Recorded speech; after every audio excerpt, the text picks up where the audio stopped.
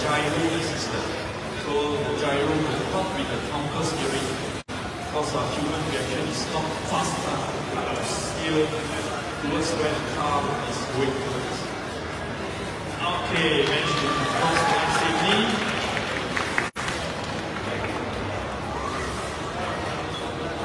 Second judge run. Ready? Go! Step there.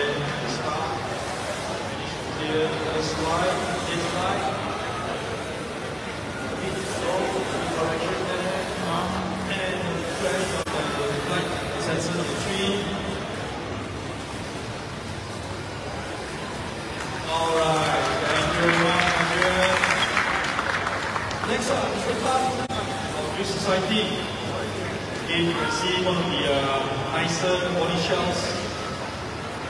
Mr. Tan, uh over there. Ready, go.